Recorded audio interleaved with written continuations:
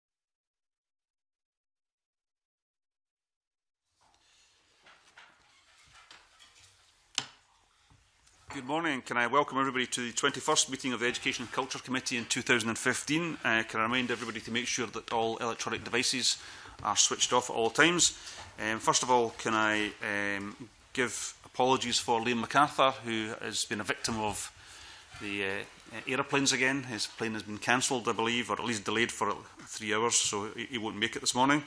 And can I welcome Liz Smith, who's joined us again this morning in the committee. Uh, can I turn now to our first item on the agenda? This morning we will continue our work on examining the spending decisions made and the outcomes delivered by some of the key public bodies within our remit.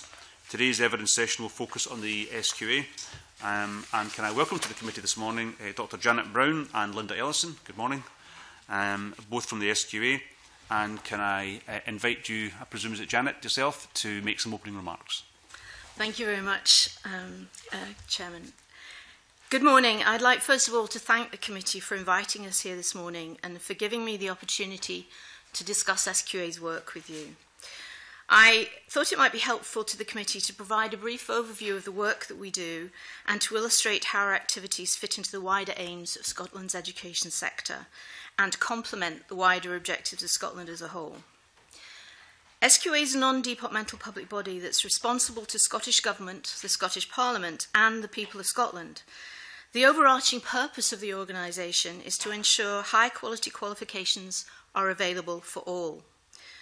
We have a very broad remit which is dischar discharged through two distinct functions SQA accreditation and the activities of SQA as an awarding body. SQA's accreditation has the responsibility to accredit vocational qualifications that are offered in Scotland, most notably Scottish Vocational Qualifications SVQs, and qualifications that are required for a license to practice. SQA accreditation approves bodies that wish to deliver these qualifications, and as such, this function is distinct within the organisation and has a separate governance mechanism with an oversight body, the Accreditation Committee, that reports directly into the Scottish Government. The majority of SQA's activities are undertaken through the awarding function. This committee, and indeed most of Scotland, will be most familiar with the activities of SQA in its role in schools, and most recently in the development and delivery of the new qualifications that support Curriculum for Excellence. This activity has been reviewed in past sessions of this committee and forms the basis of just over half of our work. Additionally, SQA delivers other qualifications and awards that support the development of young people, notably skills for work, and personal development, entrepreneurship, and vocational qualifications that support the aims and objectives of developing Scotland's young workforce. We also support colleges, training providers, and individual businesses with a wide variety of vocational and specialist qualifications at all SCQF levels. These qualifications are based on national occupational standards and are aimed at supporting people both into work and as they progress through their work in their working lives. They range from entry level qualifications to HNCs and HNDs. SQA HNDs allow successful learners to transition directly into the workforce or into the later years of degree study in university in Scotland and in many other countries. The SQA portfolio covers a very wide range of sectors, both mainstream and niche, from aquaculture to engineering, from food and drink to waste management. SQA works closely with industry to ensure that our qualifications support industry requirements and, where possible, embed other industry qualifications within our own. In computing, for instance, the Digital Media and IT Vendor Alliance, DIVA, is a partnership between SQA and leading global companies in information and technology and digital media. The committee may well have seen the announcement this morning of Harry Wheaton to be the head of Scotland's new digital skills academy, CodeClan. The academy's curriculum has been tailored to fit the real-time market demands in Scotland, and it is working with SQA on industry-driven professional development awards in software development. SQA also works internationally, and we do this for several reasons. We do it to support the international goals of Scottish Government We do it to learn from and share, our expertise with other educational experts across the world. We do it to support the development of skills and educational approaches in other countries. And we also use our core competencies to secure work that will minimise our dependency on public funding. Scotland's reputation as a centre for excellence in education and training is enhanced by the delivery of a number of our consultancy projects, in areas such as assessment and quality assurance, and the development of systems, processes, and procedures for education and training in international markets. That work involves partnership with a variety of other agencies such as Scottish Development International, the British Council, and other stakeholders to ensure that we meet the needs of international learners in the countries in which we work. First and foremost, however, SQA is keenly aware of our responsibility to establish and maintain the standard of qualifications awarded in Scotland. We work in partnership with educators, businesses, parents and carers, learners and other key stakeholders within the education and skills system to ensure that our qualifications prepare learners for work and for further study. This engagement takes place at all stages during identification, of the need for and in the development and delivery of qualifications. Our remit to maintain standards is at the heart of our approach. SQA as an organisation is recognised for its expertise in assessment and qualification development and in successful delivery. SQA, unlike many in the public sector, has a responsibility for major logistical and operational activities, and every year SQA brings on board around 17,000 appointees, manages over a million assessments, and successfully certificates almost 150,000 candidates on results day. The teaching professionals and industry specialists who support SQA operations help ensure that our qualifications accurately reflect, reflect learners' knowledge and skills and provide routes to jobs and further study.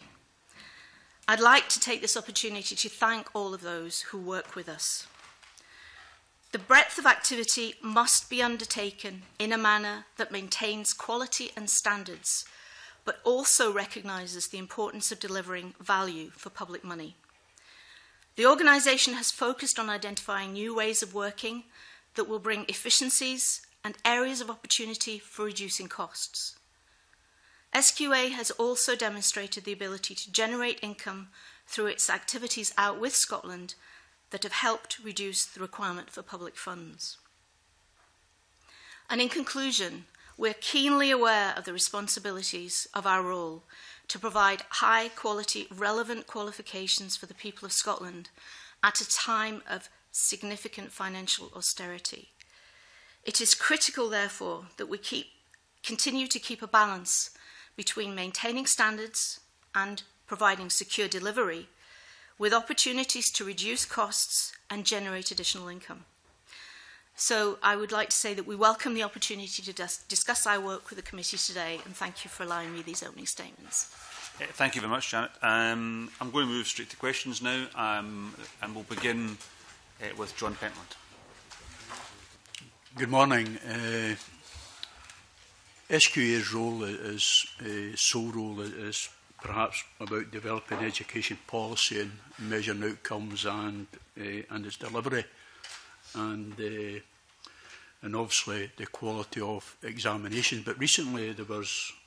much controversy around the grade bandings, and I'm talking about higher maths here, and uh, which was so hard and so unlike the, you know, the sample people actually left pupils in tears.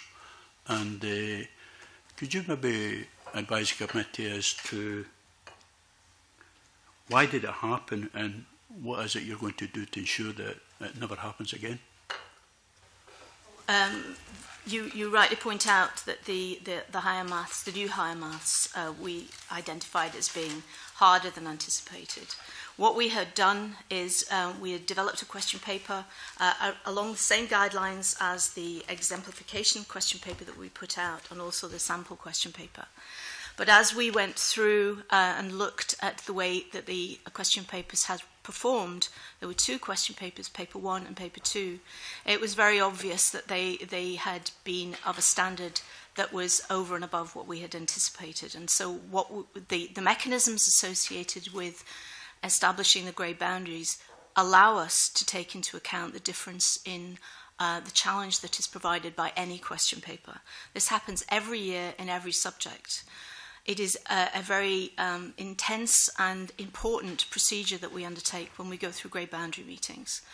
It is a, a meeting in which there are members of the SQA community, both in terms of subject experts and in terms of senior management, and also experts from the uh, assessment community in terms of the principal assessor and other key figures within that, the, the specific subject that we're looking at. What that allows us to do is look at not only the way in which the uh, examination and assessment has performed, but also to look at individual items, particularly in the case of maths, where we could look at individual questions and understand how they performed.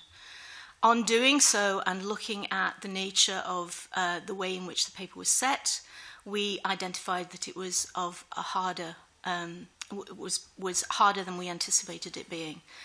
But we also were able to uh, understand that it had actually done its job in terms of differentiating between candidates who were able to perform very well and other candidates which were able to achieve a pass.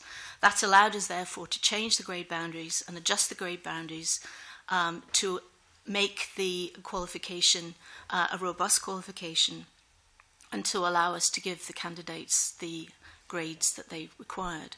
What we're doing in terms of ensuring that that does not happen again Uh, every year, as we do with any qualification, whether they're established qualifications that have been in place um, for many years, as the existing pre-existing hires had been, we will go back and we will look at next year's assessment and we will review uh, the level of difficulty and the level of challenge, the uh, coverage of the course work associated with that particular assessment and we'll make changes associated with that. We've done that with the new higher maths and we are confident that um, we are going to see uh, a paper that is, is on standard next year.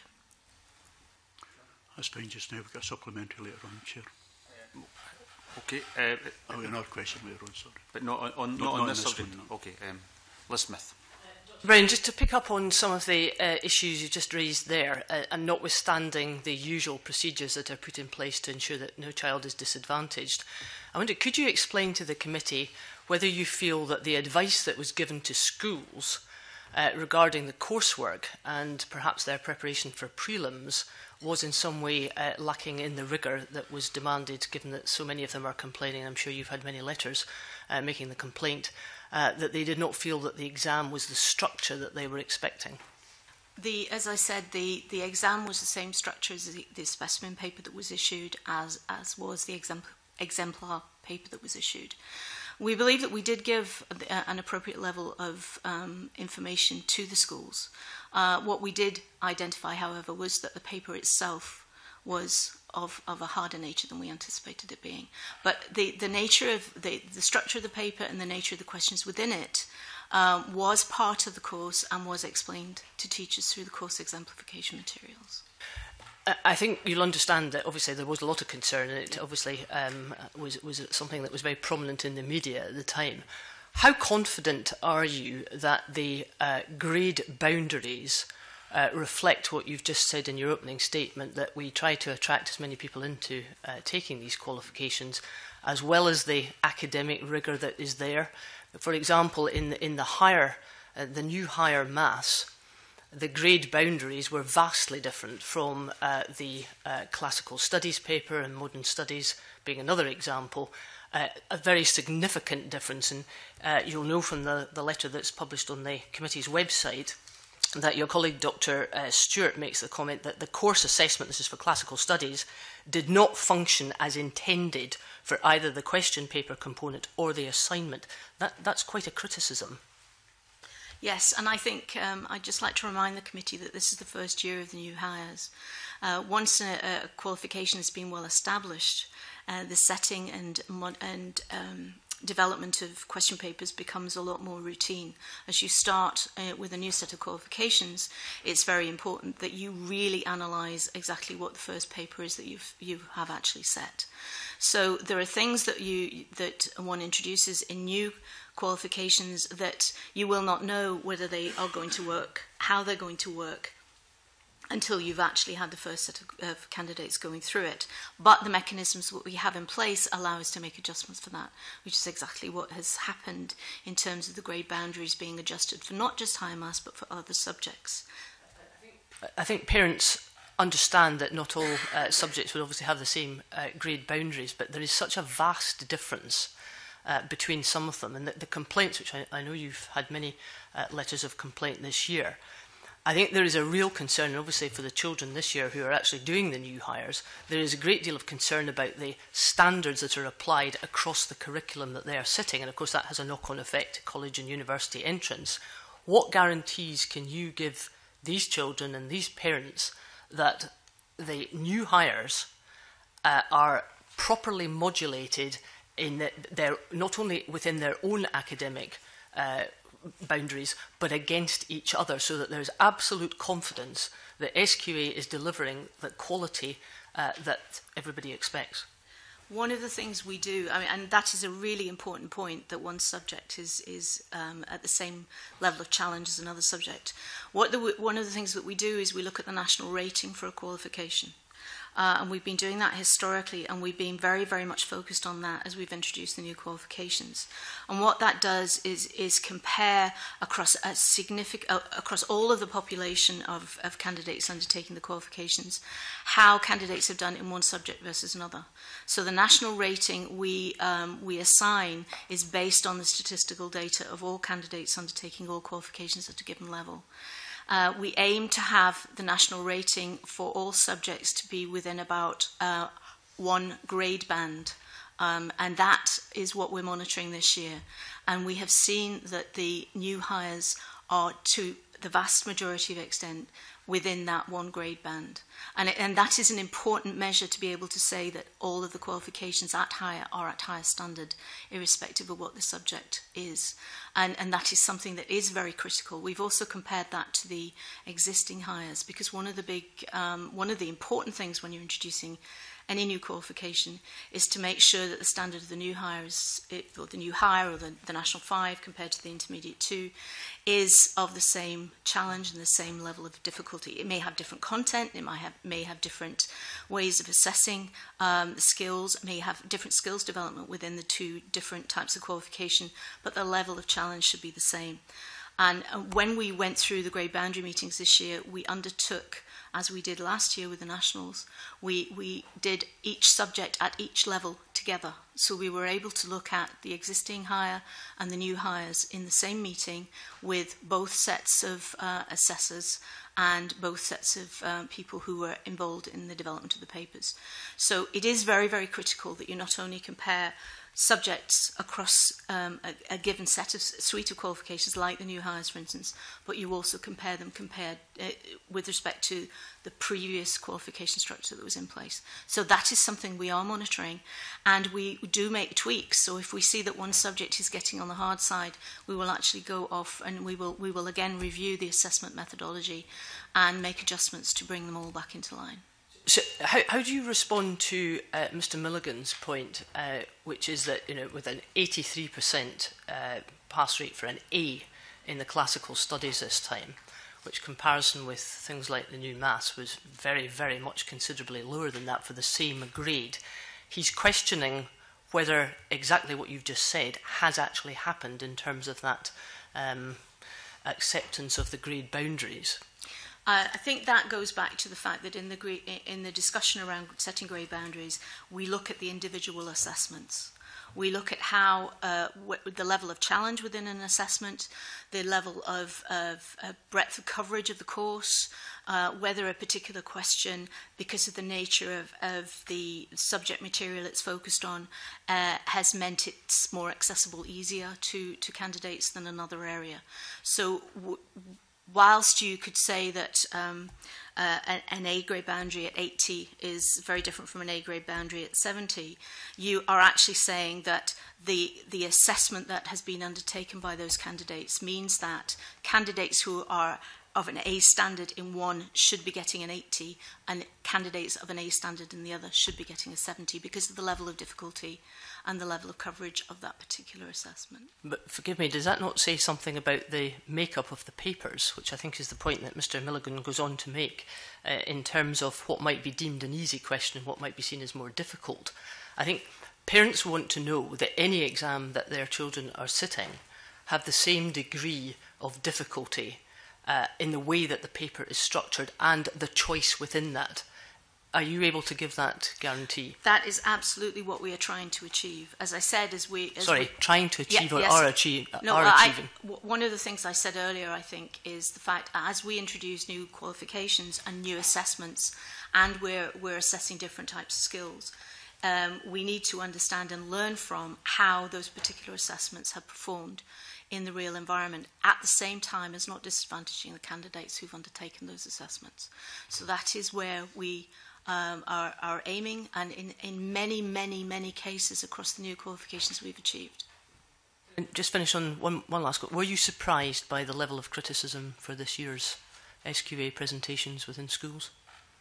I think if you look at overall, the criticisms of SQA qualifications across the schools is, is not high. There are specific subjects that people are uncomfortable with. But I think we need to remember that every single qualification was changed. Um, and I think the vast, as you can see from some of the submissions that have come in from uh, other bodies, the, the overall perception is that the introduction of the new qualifications overall has gone well. There are things we need to learn. There are things other parts of the system need to um, uh, modify in, what, in, in how they're, they're uh, undertaking their activities. Um, but there are, there are some things that we need to learn le lessons from, and I will openly accept that. Scanlon? thank you, um, Dr Brown. You gave a very glowing account of SQA, and can I just or put on the record that that's certainly not shared by the EIS, who say that they're very disappointed at SQA's apparent inability to respond appropriately to significant feedback from EIS members who are all teachers, and this is a matter of deep and ongoing frustration. So, uh, uh, on the I, I'm just wondering if you'd worked more closely with teachers a bit more constructively and positively because it wasn't, criticisms weren't coming from politicians, it was teachers at the chalk face, if I could use that word. And from my uh, discussions with teachers, it wasn't that the pupils couldn't do the maths, they couldn't understand the questions uh, and, and that really faced them. But, Convener, I just want to ask one question, and if I could uh, do a Jeremy Corbyn here, but uh, someone has sent me an email and asked me to ask this question, let's call him Donald from wherever. Uh, and I, I think it's a very reasonable question because this Parliament is based on the principles of openness and transparency. Um, so what, uh, what he says is SQA uh, Yes, where are the minutes of your grade boundary setting meetings that Liz Smith has just been asking about? And apparently, the English exam boards not only take minutes, but they have off call representatives sitting in, and yet the SQA teachers and other SQA officials who comprise the grade boundaries basically decide on these boundaries in secret with no accountability. Uh, I understand that uh, you've provided no evidence to justify your decision in relation to maths. And just on that point, convener, uh, apparently there was a ruling two years ago that local council, councils cannot complain about the SQA's practices to the Ombudsman. And uh, Donald, if I can call him that, essentially says you can do what you like, including covering in his words, your own dodgy tracks. Um, so I think it's only reasonable, given that there has been so much criticism this year, uh, I think it's only reasonable that there is some openness, there is transparency, and also more accountability uh, in terms of appeal, etc. So can this committee get a copy of your minutes of your grade boundary settings?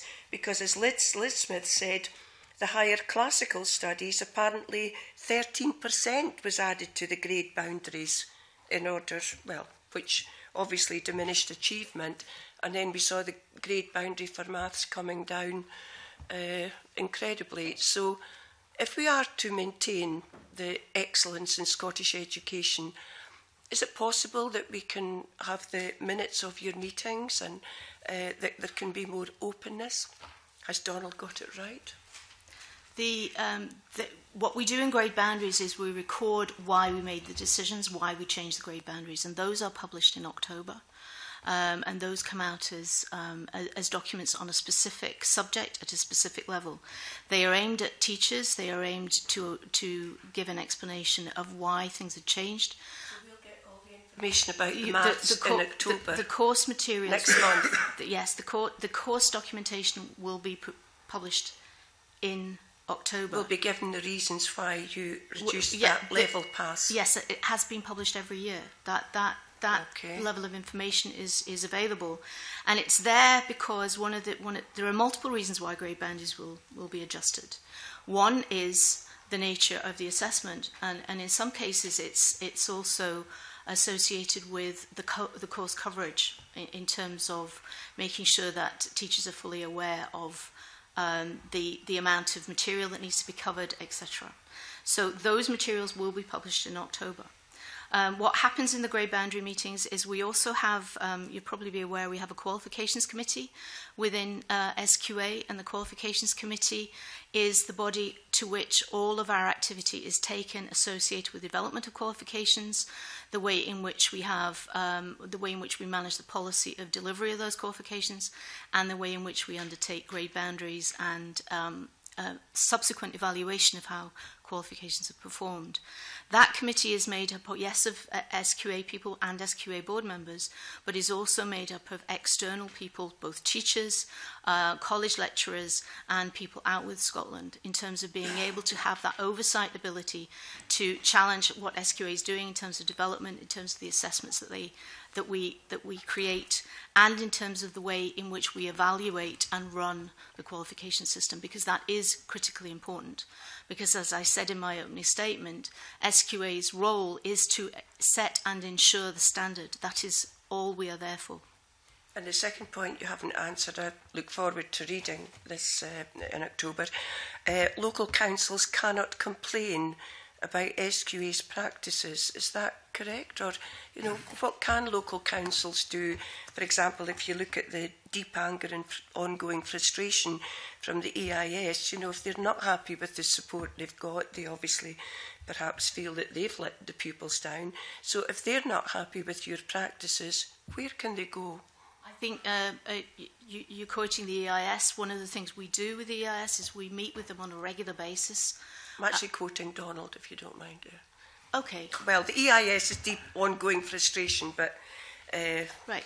If you, if, would you like me to cover the local authority point? I'm talking about local right. authorities. Where can they complete... Well, all te most teachers are employed by local authorities. If they're finding that there's deep and ongoing frustration with the SQA, with your apparent inability to respond, you know, where can they go? they can't go to the ombudsman. I think where if, can they complain about you? I think if you look at the uh, ADES submission, the ADES um, submission cites the close partnership working that we have with directors of education within the local authorities. We meet with them both in terms of. I'm sorry, convener. I'm not asking about. I did read that. I read all the submissions. I, I, I did read that. I'm asking a specific question. If local councils or, or colleges, for that matter, are unhappy by SQA's practices, where who do they go to?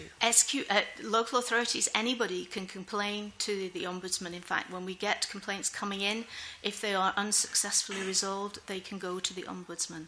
Oh, so, so they can still go to the Ombudsman to complain, and the Ombudsman will carry out an investigation into your practices into regarding our processes and procedures, etc. That's into the way helpful. we we, we including changing boundaries. The, the the whole issue of how and how much a grade boundary is changed is a matter of academic um, decision.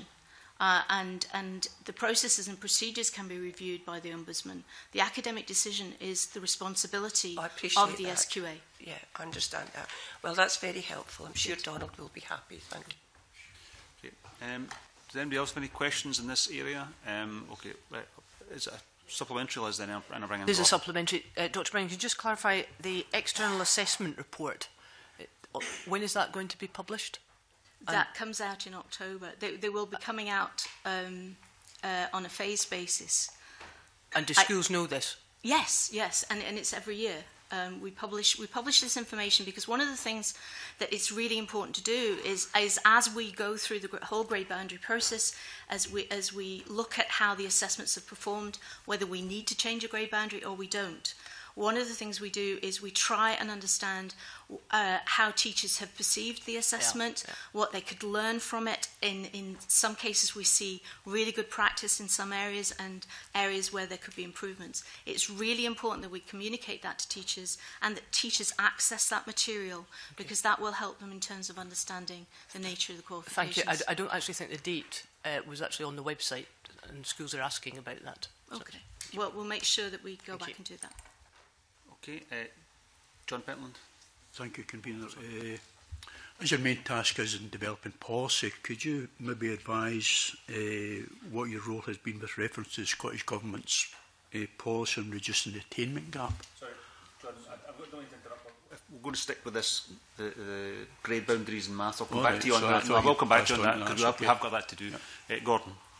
As convener, basically, parents want reassurance about the standard of exams, and, and they need to be confident that this will not reoccur. So, have there been any concerns regarding grade boundaries in the past? And is there any evidence to suggest that lessons were learned and haven't occurred on the particular same particular subject? I'm thinking about um, back in October 2005 with the standard grade maths, one of the papers had a pass mark of 31%. Did that ever reoccur again in, the, in maths over the period after that, the same level of controversy regarding the pass mark? In other words, highlighting that lessons were learned and therefore the issue didn't reoccur. I think if you if you look at the uh, the nature of the grey boundaries, and they've been published for many years. So again, in the spirit of openness, we, we publish our grey boundary levels every year. So this year is not unusual in that. Um, one of the things that we do do is we do look at why has why have we had to adjust a grade boundary significantly, and in those cases we will in some in, in some instances it will be the nature of the question, the way the question's been worded, Um, and we will not do that again. And you can see that um, there, there will be slow changes in the grey boundary that actually address some of the, some of the concerns that we've identified in those meetings. Um, I think in, in the case of introducing new qualifications where there are um, new types of assessment, there are new skills being assessed, um, I think it's really important that we do learn those lessons. And, and, and in this particular round of the new hires, for instance, being instituted, there are things that we've learned in terms of the nature of how a question's being asked, how it's been interpreted, and those things will be carried forward into future years. And will any of that information be published anywhere? I was thinking about the principal assessor's report or anything like that that th those are published. The, the principal assessors report so comes out it... to teachers, and I and I have to admit I don't know the date of those. I apologize but we can get that for you. Okay, thanks so much. Okay, go on Uh, just one final question in, in this area before we move on. Um, could you maybe explain um, how you've been dealing with the appeals process then, particularly over these subjects? We've got uh, people writing to us about maths, certainly classical studies, human biology. Um, how did you did you do anything different this year to to try and deal with uh, appeals in these subjects? Uh, for example, um, and it's it wasn't it wasn't Donald from Dingwall, um, but it was somebody else who who contacted me who made the point that they felt that their own child had been uh, very badly impacted in the exam by an early question which was very tough, perhaps much harder than you know it should have been um, and then that impacted on their ability to, to then answer subsequent questions in the exam because they were distressed by the early question which impacted on them and then they felt therefore that they didn't perform as they would have done had that early question which was difficult to understand and perhaps it eh, much harder as I think you've said suggested earlier than it should have been. Um, what, what, what way could you possibly take account of that or have you taken account of that in any of the, the appeals? Um, as you know, the post-result services that we undertake looks at um, the, the marking reviews associated with it, with, with individual qualifications. One of the things teachers do when they are preparing their students for exams and for assessments is to make sure that they understand that if they find a question hard, they move on to the next one. And that is what we saw. If you look at if you look at the the um, performance for new high mass, but for any of the new qualifications, they are as most teachers have expected. And most of the most of the um, performance that you see is very reflective of what you would expect from the nature of the the, the candidates that were entered for it. So Teachers prepare candidates for being able to get over those hurdles that in exams, in maths exams, for uh, as long as maths exams have existed, there have been hard questions for individual students that they can't undertake, and they're asked to move on to the next one, and they, th that is part of what the teachers do in terms of preparing the candidates for the students. Sorry to, to hark on about this, but are, are you saying that you don't accept that the nature of this year's new higher ex uh, maths exam paper uh, caused individual pupils to um, be distressed by a very difficult uh, early question, which was way, way above what was expected of them or they'd been taught to, and was written in such a way as to be very difficult to understand because they had not, as far as I am led to believe, experienced a question that had been put to them in that particular fashion. Eh, you're not accepting that that's the case. I, I think one of the things we've done, curriculum for excellence in maths, one of the things that was uh, was a key focus and a key area of communication and engagement with teachers was the fact that questions would be set in context. Um, things, a, a lot more words around the question, not just merely answer this particular, solve this particular equation, but putting the mathematics in a context that would allow them to be able to demonstrate what they can do.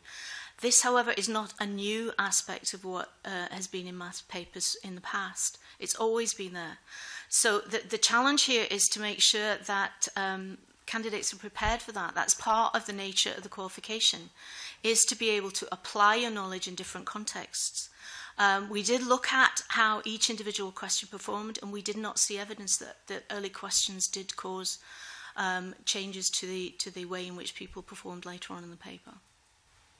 And is that is that research available, or is that internal, or how how, do, how is that done? that, that's done in the grade boundaries. We, uh, the good news about um, the new qualification structure, where a significant number of them are earmarked, is we get the, um,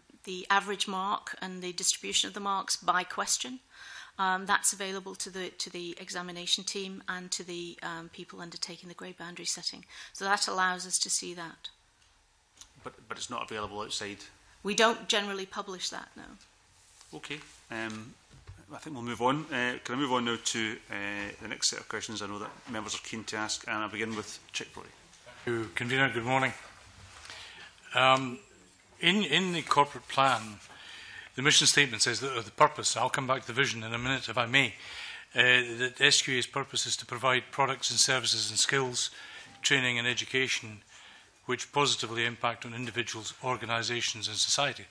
So it's fairly significant and against a landscape which has been changing. I found it surprising that in the, the, the information that we received from SPICE, that the structures and management of the SQA have not been considered in detail by the Parliament uh, since the exams crisis 15 years ago. What exchange do you have with the government in terms of any major changes which you've made to your structure or management? Uh, and can I also ask, uh, it's also unclear what outcomes ASQA delivers beyond preparing and marking examinations. And no information is provided in relation to how successful they, that you are in this task, and we've just discussed the issue of, of, of, of the maths exam, but the, the information is not there to determine whether productivity is increasing, cost reducing, or to the extent to which you're seeking to utilize new technology. So there's a whole gamut of um, communication of, of the structure, the management, and performance in terms of how you measure or who's measuring you and with whom do you discuss it? Okay. Um, first and foremost, the Scottish Government has observer status on our board, so they are attend every single board meeting that we we have. Uh, but we also meet with them on a very regular basis in terms of both um, discussing the, the financial performance of the organisation, but also the outcomes, particularly around the implementation of curriculum for excellence, for instance, where we've been meeting on a very, very regular basis. In terms of uh, changes to structure and changes to management approach, uh, one of the things that we have to do is if we have significant management changes, as in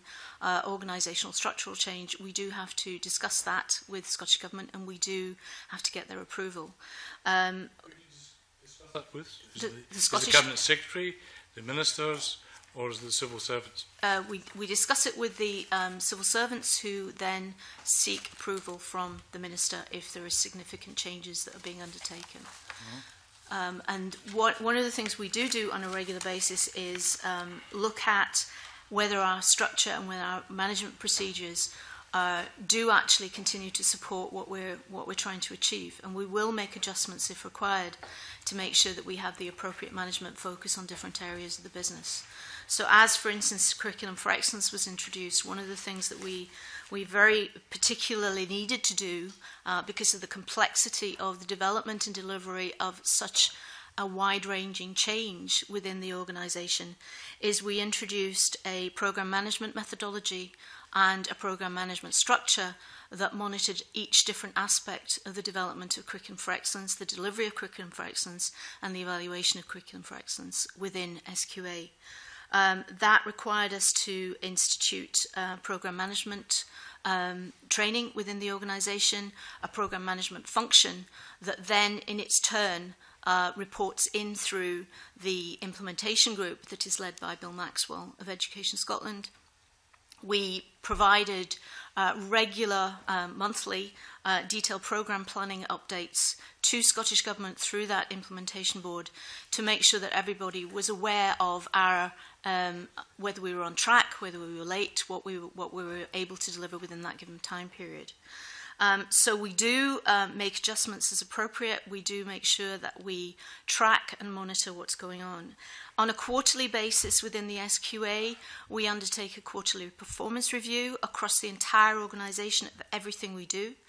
Um, that activity is reported through the audit committee to the to the board of management, and again the board of management papers um, are passed on, are, are seen, and are delivered to the Scottish government, and they are present in those meetings. Thank you. Uh, I wonder, if, and I'll probably ask Ms. Ellison uh, to comment on this also. Um, the vision within the, within the plan states we will digitally transform our organisation to offer customers better service by delivering efficient, scalable and new enabling approaches. I wonder if you can tell me what improvements have been made to the IT systems and the IT strategy since the criticisms were levelled at SQA by KPMG in, in the 2013 report, uh, or their audit report, and how any changes are providing value for money. Uh, we've had experience in other uh, other areas where um, there has been substantial expenditure committed on IT systems. Uh, and then we find that they did not provide the outcomes that we wanted. So I just wonder uh, two things. How much did you actually spend? You know, what was the contractual uh, spend on the IT uh, systems that you're using? What changes have been made to that?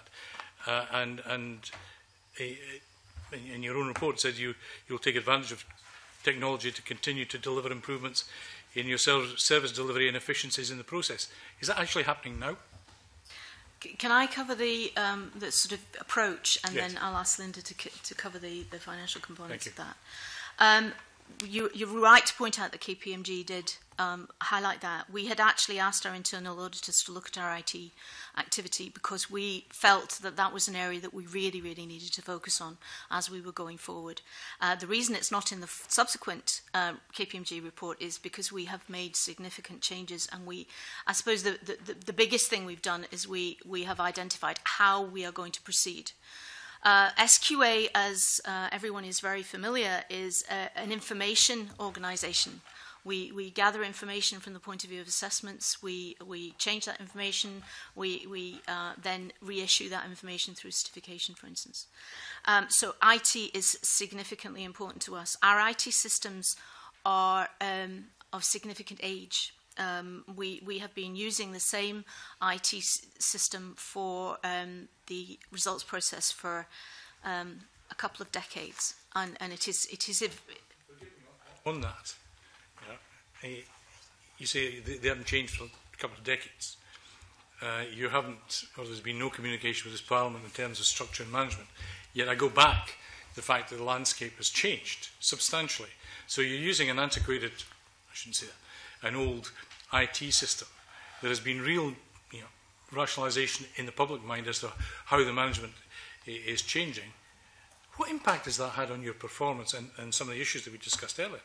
One, one of the things we're doing um, is, is we have been continuously modifying that, inf that inf infrastructure to make sure that it does continue to deliver what we need to deliver.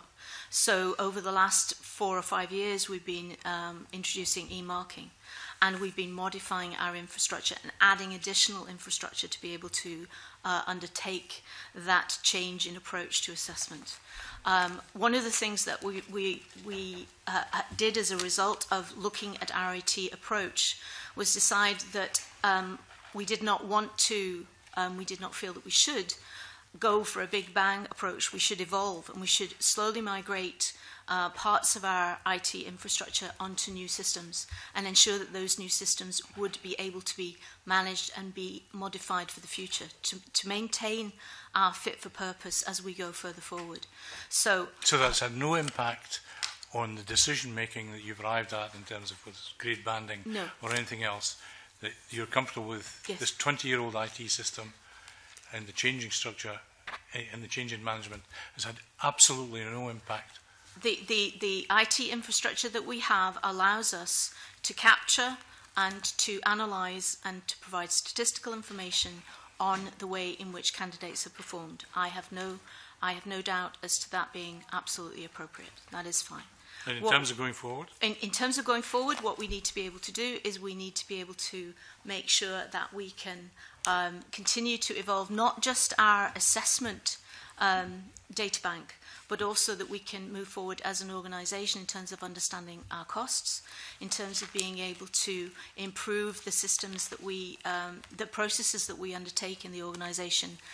Uh, a lot of processes within, uh, within SQA are manual, and one of the things we are doing is making sure that we uh, appropriately apply technology to those to those manual processes where we can. Uh, there will always be things that you need to do as a human being but uh, there are other things that we're doing that we need to be able to improve.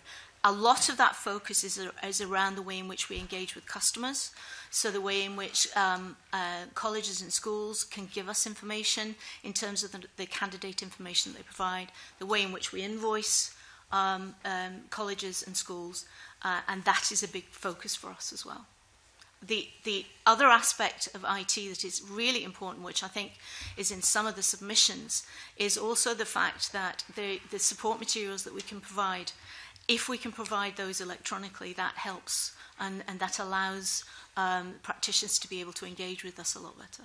And that is one of the areas that we are absolutely focusing on in the future. And there's a percentage, let's say, of your, of uh, your operating costs, how much, given it's a 20-year-old system, and there might be questions around the data that's, that you said is not, but in my experience is a 20-year-old IT system and all the processes around that might hinder uh, accurate data. How much does it cost to run this? And what are your intentions regarding a new IT system? Yeah. Um, we actually are using the same the same level of budget that we've always used for our IT. But as Janet says, we are moving uh, gradually towards improving that, that system. Um, we spend about, well, up to a million pounds in capital per year on our systems. Um, and that is, is, that is actually in-house activity in terms of we, we develop that legacy system that we've been talking about, which is a critical business system. So although it's 20 years old, we have been adding to it and, you know, over the years, and that has made it effective for us, but also more and more fragile. So what we're looking to do is build what we term a parallel world, where we are, um, you know, we have a new um, corporate business system we're introducing to run our, fin our finance ledger and our HR activities and our appointee management activities. And we're gradually moving things away from that critical business system to try and ensure that that is as you know, continues to be robust And over time, we are looking to take transactional activity away from that critical system to take the pressure from it. And what that allows us to do is that once we arrive at that stripped down version of, of the existing system, and this is to try and do this as risk free as possible given the importance of, of the information on that system, once we, we, we can strip it back to the, the, you know, the information that is uh, critical to an awarding organisation, um, we will then be able to look at, well, is there a is there something off the shelf? Is there something we can buy in that gives us more robustness and, and in, into the future and allows us to do some of the things? In your corporate plan? Yeah, that's part of our business. Um, yes, it's part of our business system strategy for, for moving forward and it's part of the whole digital agenda for us and our digital ambition. We, you know, at the moment, the corporate business system, for example, um, what we are also doing is we, we have a, an ERP system, um, we, we use SAP at the moment, Um, that has pr proved to be quite an expensive system for us to maintain for the size of our organisation. So the new corporate business system we're moving to will allow us to maintain that in, uh, and support that in-house, but also um, we are using uh, uh, facilities to host that elsewhere. So we're trying to make sure that we robust, you know, we reduce our costs and that we have as robust a system as possible. But we are doing it in a canny way because we know how important and how... So, the data on which you base any decision regarding the customer yes. is guaranteed. Uh, Hema Dutz. Uh, one last question. I wonder if you can tell me how, how you work with S, SDS.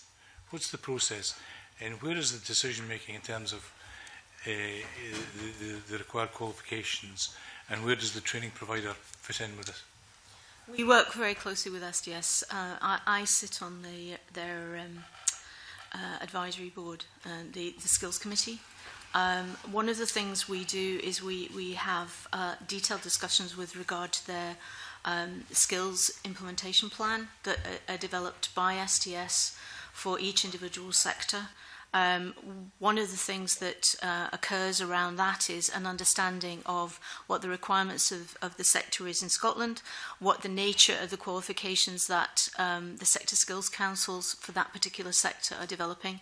Those drive the nature of the qualifications that we un that we undertake to develop for for a particular sector. We also have SD uh, an SDS representative on our advisory council, so we close the loop in that way. Um, from an accreditation perspective, um, SQA accreditation uh, works with SDS in terms of data uh, that they have uh, as to the vocational provision uh, across both license to practice qualifications but also uh, across the sectors that SDS are focusing on as well. Uh, in terms of the new um, uh, foundation apprenticeships, for instance, that are being developed by SDS, SQA is on the group that is um, involved in that to understand what is the nature of the qualifications and the nature of the units that need to be in place. Do we need to modify anything that we currently have? Do we need to develop anything new to be able to support the introduction of the foundation apprenticeships? And that applies also to the, to the uh, modern apprenticeships uh, that, that are in place across the piece now. Okay, thank you. Okay, uh, a brief supplementary list on this. Clay, uh, Dr Brown, obviously the uh, vast majority of pupils are learning on tablets now. Uh, you will be having a difficult decision in the not too distant future about whether these are permitted in exams. How advanced are your discussions about this issue? Um, I would say that they're in the early stages, and I think they're in the early stages because um, most local authorities are not in that position at this point in time. So we do talk to ADES about the future direction of technology within the school sector. Um, um, uh, in colleges, it's it's obviously slightly different. We do have online assessments as, at the moment. So, for instance, life skills maths um, is currently delivered completely online. Um, and I think uh, one of the things we need to do is we need to make sure that we, we definitely are not the people holding back um, the teaching associated with technology, and we are able to maintain the standards that we need to maintain. The nature of assessment online is, is, is critical that we understand what that means because we need to be able to assess the skills and the knowledge to the same extent as we do in other mechanisms. But um, uh, internal assessment allows us to do that. Um, and I think um, it's very important that we continue to, to have those discussions. Mary Scanlon. Question, and that was given the very confident responses that you gave to uh, Chick Brody and you know everything that you've done in IT, and given that KPMG uh, noted weaknesses in your IT strategy in 2013, why were you unable to give an update on the issue in uh, 2014? Um, KPMG did not include it in their report uh, is what I meant to say. Uh, and that I think is because it was uh, we we did an, a significant amount of work during the course of that year, and it didn't appear as a as a highlight on their uh, report. That's what I meant to say. We we do give we do give an up. Usual. If, if, if there's a comment on an audit report, at least in my experience, normally there's a follow up the next year. Yes, um, essentially what, what KPMG were referring to in the, the original annual accounts that, um, that you quoted was their review of our internal audit work and their internal audit activity. We had had some, we had had quite a bit of work done around about our IT systems and our IT strategy. Um, and we worked through, throughout that year on the action points arising from that. So when, um, when KPMG came to do the external audit in the following year, when they reviewed the internal audit reports, there was nothing, they, they didn't feel there was anything material. They felt we had addressed um, the, the, the issues in that, uh, in that original report. And, and can I just say, the, the internal audit report that, to which KPMG were referring was tracked. We did have an action plan. We did develop a detailed action plan associated with that, which was reported back through the audit committee and through the board. Mm um, and was uh, that is part of the evidence that was given to KPMG in the subsequent year. But we did absolutely develop an action plan to address the issues that were raised. The internal audit report. Um, that would be the audit committee. Thank you. Thank you, uh, George Adam. morning. Uh, I wonder if you could. Well, obviously, we all live in financial climate that we're currently living in, and I'd like to ask how SQA assesses they're providing value for money because there's one of the questions that you answered here is that SQA is taking steps to secure a better understanding of its costs, better understanding of its costs, in order to truly understand whether SQA provides value for money. Now, from my perspective, and please correct me if I'm wrong, uh, that sounds as if you almost don't know if you're uh, providing value for money. So, uh, could you possibly maybe talk me through that statement then? Can I pass it over to Linda in a minute, but can I just, just uh, cover something? Uh, I, uh, first and foremost, we, we understand where our money goes. We do understand our value for money. One of the things we're trying to do is understand the individual costs on an individual qualification by qualification basis so that we understand how much it's going to cost to deliver a, a, a particularly a niche qualification versus a qualification that many many students will, will, will undertake. So that's the nature of what we're trying to cover there, is, is a, a much more detailed understanding and breakdown of our costs on a, on a qualification basis, which I think um, is something that we need to do and, it, and is something that will help us make appropriate decisions in the future. But in terms of covering the, the, the high point, I'll pass that on to Linda. Yeah, yes, so essentially we obviously we monitor our costs on a monthly basis and in great detail um, for the organisation as most organisations would do, but we, you know, we analyse all of our variances against our budgets and our forecasts. We, we do quarterly reforecasting, so we, we've got a very detailed understanding of our, of, of our expenditure. Um, and our expenditure is primarily um, our staff costs and the costs of appointees, or the, you know, the, the 15, 17,000 people or so that work with us in the course of the year um, to help prepare the examinations, the assessments, invigilate, mark, etc. Um, And the other aspect is the information technology costs. So those are our big key areas of, of expenditure. And as Janet says, what we're trying to understand better is, is what does all of our, you know, we have a whole lot of products, we have a whole lot of services that we deliver, and we would like to better understand which, which products contribute best and most, which, which products need to be subsidised by other aspects. So it's, it's getting into that real nitty gritty of, um, of uh, the detail of, our, um, of what we produce in terms of products and services and what we deliver to the people of Scotland and elsewhere so that we understand where we are, um, where we need support, where we need to deficit fund and where we need to, um, you know, and subsidize from other activities. Okay, I understand that a lot better than the initial line that was in the answer there, because that makes a lot more sense. Uh, whereas uh, the initial line there just made it give the concern yeah. that that was yeah. an issue. So uh, maybe something for the future. Up on that then. Um, sorry, George, you, you, you finished there. Yeah, just, just for clarification on my part, um, when you're separating out the courses to quite rightly understand the costs involved um, in different courses. You mentioned um, courses where you have a lot of pupils sitting or others where there's maybe a small number. What's, what's the end game in that, that process? Is it to then start charging higher fees for the ones where there's only a few so that you can you know, retain, recoup the money? Um, is it to perhaps eliminate those courses because they cost too much? What's the purpose of that? the purpose of it is to understand. I think it's really, really important that any organisation and any public body understands where its money is going. Um, and and uh, for us, it's important to understand it at a granular level. There is the the value of a given qualification is not only associated with how many candidates take it uh, a qualification can be hugely valuable that is very specifically targeted to a particular region of the country that has that particular industry sector in it, for instance, or that has that particular interest in terms of subject. That is an equally valid qualification to be delivered. Next question. How do, you, how do you assess value for money? You can assess what it costs But how are you assessing the value of your provision of a certain qualification? The value for money in SQA is about yes, you have to understand the basic costs of what it, it is delivering, uh, what it costs to deliver that. But it's about the contribution to Scotland, to the contribution to Scotland's learners, the contribution to Scotland's culture, and uh, the, the contribution to, uh, if, if it is making a profit, the, the, the surplus that allows us to be able to offset our uh, dependency on the public purse. But it is a combination of all of those things. Yes. How do you measure the contribution to Scotland's culture? Um, we will actually ask people. Um, we, we, we spend a lot of time um, talking to individual organisations about what, what is necessary um, that we should be that we should be delivering.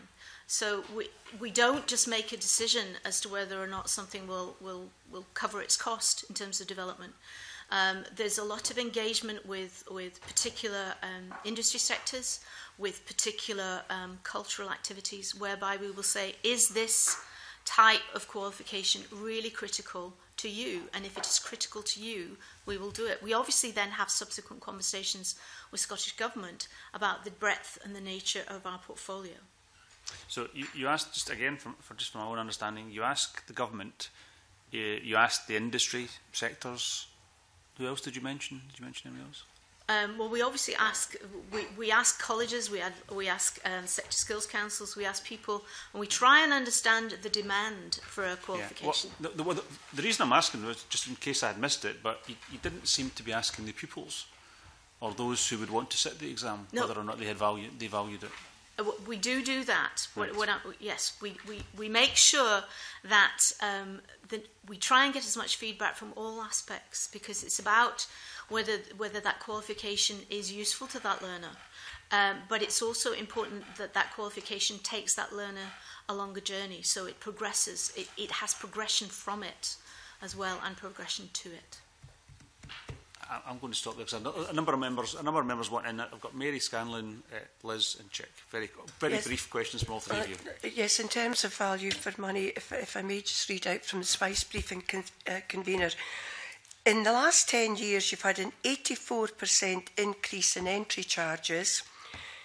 You've had a 58% increase in staff costs.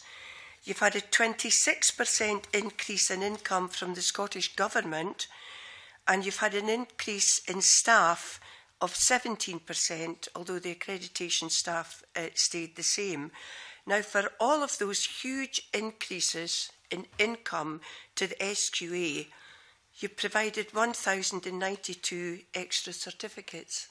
So, in terms of your response to the convener about all the people that you've asked how you provide value for money, I won't read them over again, all my colleagues have the same briefing, but you've had huge increases over the past 10 years government entry fees, uh, eh, 17% increase in staff, but a 50%, 8% increase in staff costs. And all the candidates or all that Scotland's got out of that is 1,000 extra certificates. Is that value for money? Um, the, the certificates that you're quoting are the certificates that are issued on results day. Um, those, those certificates are, form a portion of what SQA does.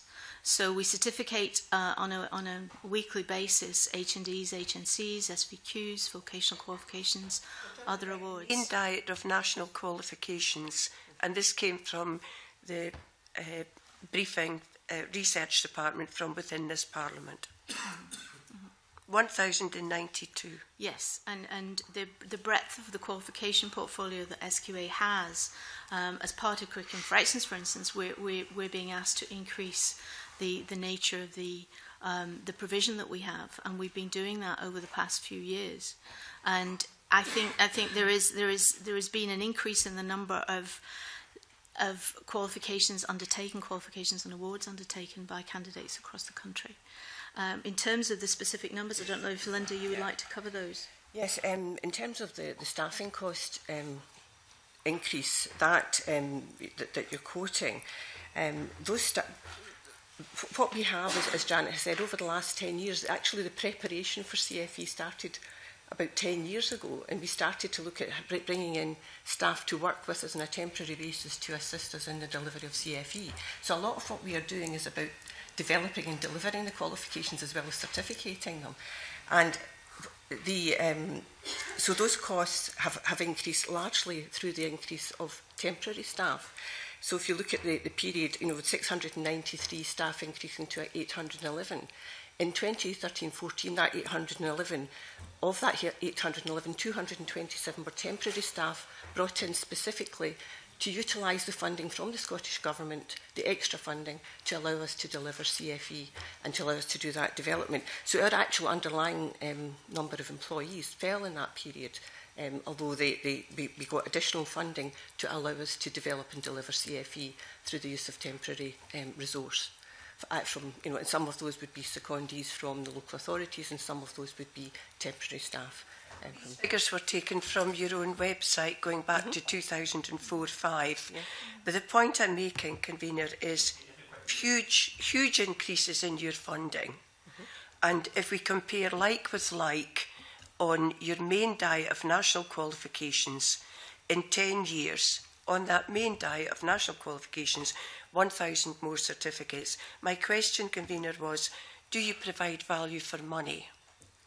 Um, you uh, didn't answer that one. Well, I, it, I do believe we provide value for money because we actually deliver an awful lot more than 142,000 certificates a year. Okay, I'm, I'm going to have to jump round because members are going to have to be a bit, bit quicker, I think, and quick answers if you don't yeah. mind, Liz. Very, very quickly, uh, the fees that are paid on behalf of a candidate in some schools in the independent sector, it's the parent who's paying. In some, in the state sector, it is obviously the school that pays, and in other local authorities, it's the local authority on behalf of all the schools in that authority. Are you comfortable, I know it's not your decision, but are you comfortable that these fees are paid through Well, it's a very different system. Um, we receive payment by centre. Um, how, you have described how those centres collect those fees. Our job is to make sure that what we do is fair to the candidates, and, and I think we, are, we form part of a system. I, I, from, from what um, the, the choice of whether a candidate should be put forward for an examination, for an assessment, for, for a qualification, should be the choice of the teacher and that teachers should be making that judgment based on the educational need and the educational value that qualification will provide to that candidate. Okay, uh, check. Okay, just to follow on the question about contribution uh, regarding Scottish students, what return do you get on international business and how do you measure the contribution uh, that is provided thereby? The, the, the actual um, figure we get for activity outside of the Scottish market uh, uh, in the current year is 13.3 million. Uh, of that, some of that is entry income because it's about people doing um, our awards, and the rest of it is um, about 10 million of it is consultancy and, and other support uh, internationally. And is that more profitable than Indigenous Scottish business? Yes. Yes. Yes.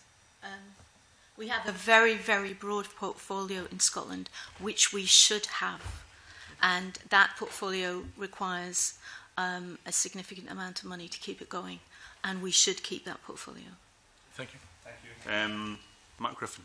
Thank Mark. You. know, just have a couple of questions on how you evaluate and uh, review the impact of your activities, and um, from the evidence that we've received, it's clear that there is a lot of um, review activity, but it would have been good to see some detail around um, what the, those reviews found, what um, you were performing well on, what areas um, there needed to be um, improvements um, arising out of those reviews.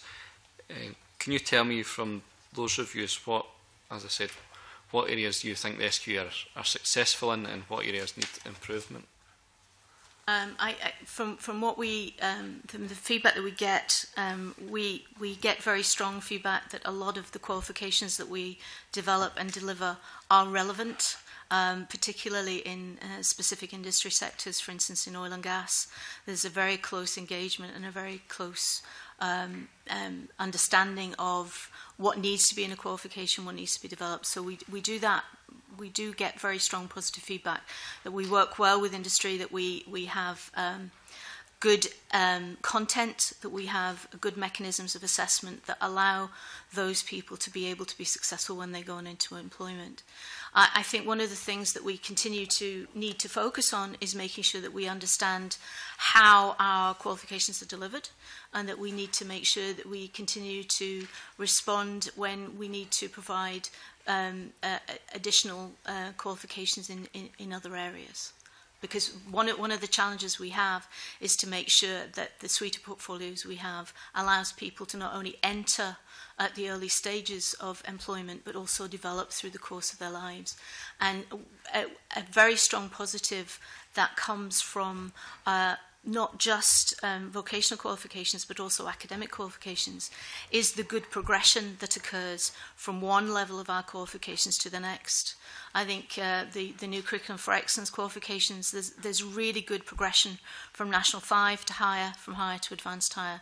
I think you'll see that feedback from the teachers that, and, and we've seen that, that feedback from pupils actually, that say, you know, National 5 did prepare me for higher. That progression is something that we're very proud of and something that we really, really need to continue to focus on. Okay, and would you be willing to make those survey responses public um, so we could see the range of responses and areas of strength and improvement? Yeah. Okay, thanks. You'll send, you'll send that to us. Okay, thank you. Um, John. Earlier, I had asked a question about what your role was in reducing the attainment gap, and uh, could you maybe advise the committee as to what you are doing to try and help that? I think there's, the, there's several things that SQA does that will help reduce the attainment gap. One very important feature of learning is the fact that if you enjoy your learning, you tend to do a lot better in it. I think that's, that's statistically proven across the piece. And so one of the, one of the things we really are trying to ensure we do is provide a suite of qualifications and awards that allows people to develop, allow, allows people to gain skills and knowledge in the context that they, that excites them, that gets them um, um, engaged engaged in learning that makes them want to continue in learning.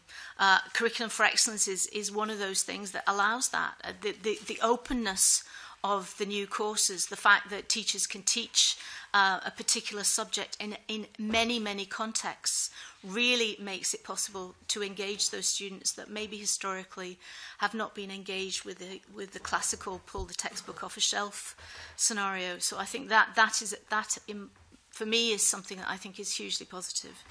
The other area I think is very much about um, the, the, the way our, our, our qualifications are structured are by units.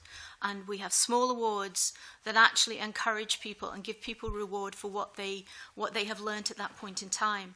Often to someone who, who um, is, is, is uncomfortable with, with, um, with learning or, or is maybe maybe uncomfortable with the whole issue of being assessed, doing that on a, on a, on a small basis, as in units or in small awards, encourages, encourages learning and, and, and makes people confident and makes people then willing to take the next step.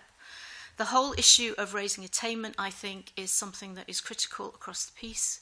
Um, it, it is something that um, is not just within the school sector, it's also outside the school sector. As, as learners move into college, we work very, very closely with colleges and with schools on personal development, making sure that we provide um, the, the, a nature of something that encourages people to reflect on what their skills are that then enable them to put those skills to use in different contexts, which then ultimately will raise the attainment of those individuals.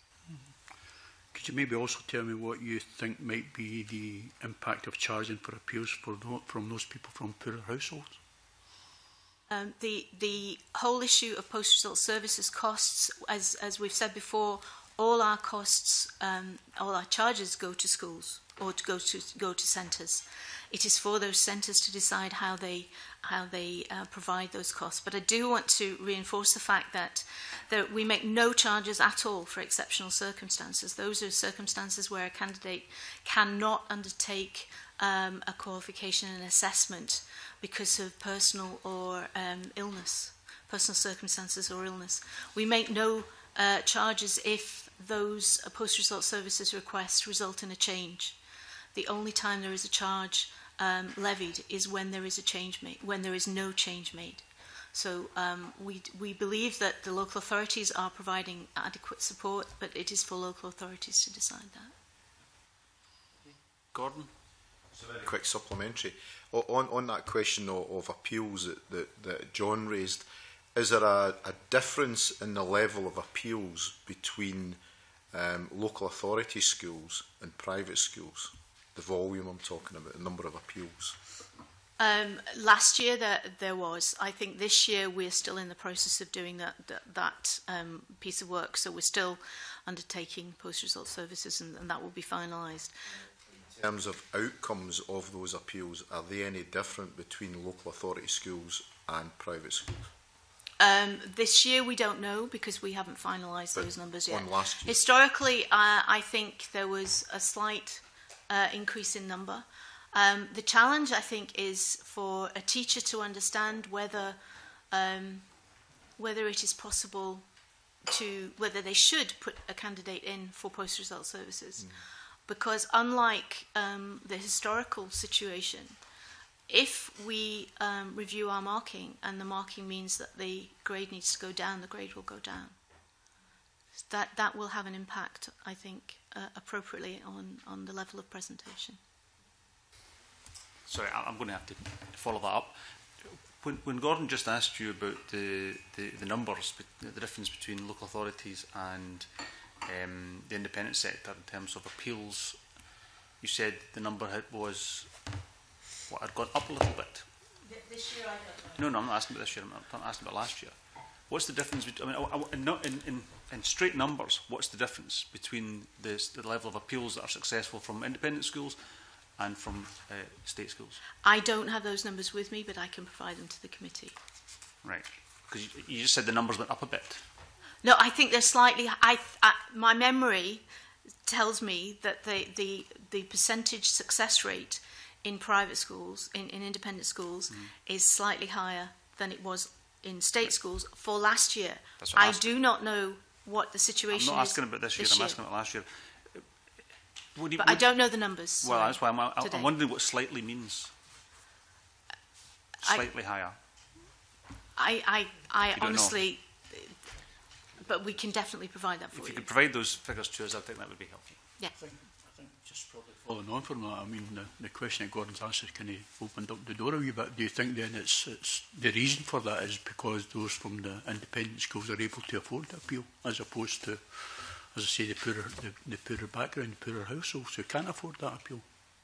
when we asked the local authorities, um, uh, we, we have had no input, input from local authorities that have indicated that they have not submitted candidates that they felt they should submit. So I, I don't have any evidence to support that. Sorry, just the, the, when, when a person makes a, an appeal, when a student makes an appeal, do they appeal direct to the local authority or do they go direct to the SQA? decides whether they make the appeal? The school decides. Just when you're writing to us, unless because I mean, I'm assuming you can't answer it now, could you also clarify or at least give us some view on whether the level of material and supporting material that's supplied by state schools versus independent schools is different in any way? Would that, you know, and I, the reason I'm asking that is if there's a difference in success rates for appeals, for, which is higher for independent sector than for state sector, I'm wondering what the reason for that is. Because you would think that it would average out, there's no real reason why there should be a difference. If there is a difference, could you express a view as to what that, why that difference is? Is it, for example, that there is greater, more, better supporting material coming from the schools part of the appeal? no supporting material put in because they're no longer appeals processes, they're post-result services processes. So what we do is a, a, we do a marking review. So there are, there are no materials um, sent to us. There are for exceptional circumstances, because that is extremely important that we look at alternate evidence for exceptional circumstances, but there, there is no... Right, okay. okay. Right. Well, if you could just provide the background to mm -hmm. how that process works. Yes. Uh, the exceptions uh, uh, and the numbers. Yes, yes, we'll do that. Okay, thank you very and, much. Uh, um, by that time, we will also have this year's information as well, which I think will be very helpful. It would be helpful as well. Thank you very much, uh, Dr Brown. Um, Mark. Thanks. Uh, Gwyneth, uh, just to ask how you've um, demonstrated leadership in making sure that um, qualifications uh, continue to be relevant to um, students, teachers and employers. And I know you spoke particularly about the oil and gas sector, but um, just to ask about and what your surveys and uh, reviews showed about um, how relevant the, the courses and qualifications have been across the piece in Scotland? Um, one of the things we, we try and do is we try and engage everyone um, who has an interest in a qualification in both the development and the subsequent evaluation of that qualification. So when we when we develop qualifications for industry sectors, we will have industry as well as colleges and training providers involved. And similarly for curriculum for excellence, we had uh, not only industry colleges but also teachers and uh, and and um, and the, the learner societies, for instance, involved in those. Uh, one of the things we, we, we ensure we do is we um, routinely survey our customers to understand whether they believe our qualifications are current or not. Uh, we, we try and um, uh, have continued engagement to understand whether we need to modify our qualifications to make them current, to make make modifications if an industry is moving quickly, for instance, that they, such as IT, that we make sure that we refresh our qualifications as fast as, as we possibly can. Um, I think the, the, the other aspect of what we do is we do have an ongoing process of evaluation of qualifications and we will be evaluating the success of curriculum for excellence qualifications over the coming years based on evidence, based on evidence gained from discussions with teachers, discussions with parents, discussions with pupils, with universities, with um, employers who take candidates. And we will also be looking at um, um, reviewing that with obviously the qualifications committee within SQA to make sure that we, we fully understand what's worked well and what hasn't worked and what we do need to modify. One of the challenges is that um, uh, during the course of this feedback, we will get feedback that says we, we would like you to add this or we'd like to, to modify that. Um, it's important that qualifications have a certain level of stability. So, for instance, during the course of development of curriculum for excellence, we probably overreacted and over changed. I think we've discussed that at the committee before. But we do need to continuously evaluate and continu continuously evolve our qualifications. And have there been any particular um, qualifications or courses that, whether industry, further education, higher education teachers have raised a particular concern about any particular qualification or course?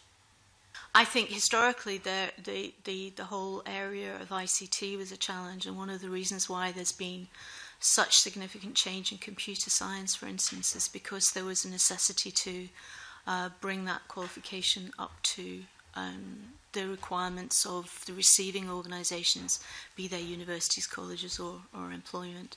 Um, there are specific areas like that that I think we, we, we um, need to keep an eye on because they move so fast.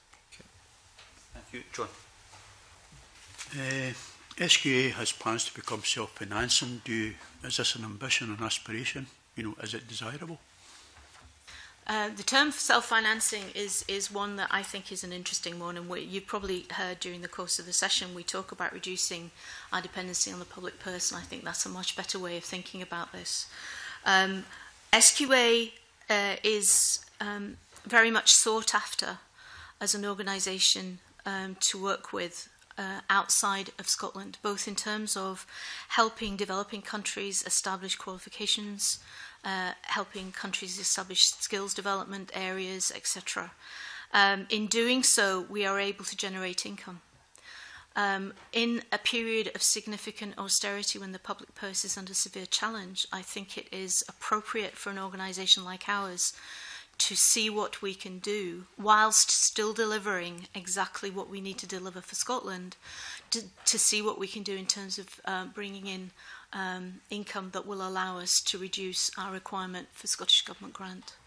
Um, the, the, where, how far that will go given the fact that, that we talk about the fact that the, the criteria for what is delivered in Scotland is not associated with whether or not it will bring in enough money to uh, cover its costs. It is about delivering what's required in Scotland. So therefore, the, the amount of funding that we would require will be significant. But I think it is an appropriate thing for us to be doing. It supports Scottish Government's um, international agenda. Uh, we work internationally for, for, for several reasons. The first one is very much that, is Scotland as a place on the world scene, um, the Scottish Government's uh, international agenda in terms of working with specific countries. That's one of the reasons we work internationally. Another is actually the learning that we undertake and the learning that we get and the learning that we can provide to others by working with other countries and with other educational systems. I think that's very, very important. Uh, another area is, is very much associated with making sure that we um, support other governments in terms of developing what they need to to have to make sure that their educational systems provide value for their learners and our, the way that we make those decisions is is it good for the learner in that country is it the right place to be and then the very last reason is if there is surplus that we can generate there then we really should because then we don't have to ask for as much money from Scottish Government. Mm -hmm. But uh, in generating that, obviously, commercial income, uh, is there not a danger that you may be sidestepped into taking away the focus from what is your core function? No, no. I, I, I have to say that, that we, we are we are a national public body and we, we take that role and that remit extremely seriously, as does our board, as does the Qualifications Committee and as does Scottish Government and our, our sponsor division. Um, it is not something that takes second stage to anything. Um, the reason we, we would um, look to generate income is not to generate income, it's to generate income so we reduce our dependence on the public purse. Mm -hmm talking about uh, commercial income, could you perhaps tell us what the current level is uh, that has been raised and, and uh, what sources and how profitable it's been? What sources it came from and how profitable has it been? I think, again, um, there, there are many reasons why we undertake work outside of Scotland that we get funded for, we get paid for. Some of that funding comes from the World Bank, for instance, whereby we're working with other agencies to help develop – um, educational systems across the world. We would not expect to make a significant profit on that, if any. Um, we would expect to be able to be, we should be doing that as part of our role as a, as a, uh, as a nation. Um, in, in, in other cases, we will go for significant income, and that is, it, it is a value for us. Uh, Linda, I don't know if you... Yeah, um, I, mentioned, I think I mentioned earlier about 13.3 million in the current year is generated, and that's um, about 3 million of that is, is other, organ, other countries where pupils are taking perhaps HND's awarding um, type activity. The rest of it is consultancy or contracts where we deliver um, either consultancy support um, in terms of vocational training or frameworks in uh, national occupational frameworks in countries abroad. Um, and some of it is actually contracts that we deliver in the rest of the UK that, for um, the UK government, where they've asked us to, um, or where we've won um, contracts to deliver um, activities such as dangerous goods driver training and other licenses to operate. So those, those are areas where we, we can generate some funding that helps offset the, the requirement for government funds. Now you may be able to tell us in what the, you, you've been able to advise about the income, but what has been the resource cost to deliver that income? Yeah, well, it's, it's, we use the surplus from that activity to, to, to obviously to offset what we need from the Scottish Government, but the actual um, amount of income that we generated from that activity, we have to set the costs against that because it's very important that we, um, we charge the right costs for that and we don't subsidise it from um, our other activities. So, yes, we do have um, we, we do have elements of that, that that's more profitable than others um, total surplus, um, from it is um, probably about eight, uh, e, the last the last time I looked at that. Sorry, I'll, I'll verify this and, and I'll send you the, the information if this is not quite correct. But we, we generated um, about four million pounds surplus towards our activities uh, in the current year, or we, we predict we will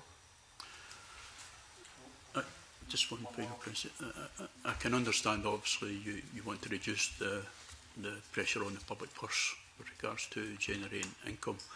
But in uh, the final sentence of your submission on page 14 suggests qualifications are delivered at a minimum cost to the public purse. You know, obviously, if this is a reference to granting aid, are fees from local authorities, schools and colleges not considered to be from the public purse? Yes, they are they are considered to be the, from the public purse. Um, we, we have not increased our charges to uh, colleges and schools uh, in Scotland since 2010. So if you're reducing the grant aid from the Scottish Government, is there any uh, possibility that you could very well be increasing the charges to local authorities and to schools? the, the, we are currently in discussion with Scottish Government about um, uh, the whole way forward, particularly around curriculum for excellence, because I think if you, if you uh, uh, if you note in our in our submission, as curriculum for excellence is introduced, um, the different patterns of uptake are, would likely have an, an impact on the number of qualifications that are being undertaken. And it's really important that we consider SQA's um, um, requirement for resource across the piece. And that is one of the discussions that we're having with both COSLA and with, S with Scottish Government at the moment. But the goal here is to um, understand that the public purse includes um, the local authorities, that the, the, the amount of money that is available in the entire system is limited, which is one of the reasons why we are looking at um, increasing the amount of money that we could potentially bring in from outside, whilst maintaining our focus on what we do in Scotland. Good. Thank you. Um, Gordon and then Chick. Just want to expand on what John Pentland's been asking you about. Um, can, you, can you explain what you have identified as other income that you've got in your uh, income and expenditure budget and also in your 2013-14 um, accounts because other income in 2013-14 was 7.3 million, which was lower than what your other income was in 2006-7. And so what gives you the confidence that you're going to be able to increase that amount of other income by 50% in a two-year period when you haven't been able to achieve that in the previous seven? Are you, uh, are you asking whether uh, our self-financing goal? No. I'm trying to understand what makes up other income and why it has actually decreased over a period of time and you're expecting it to grow by 50% over the,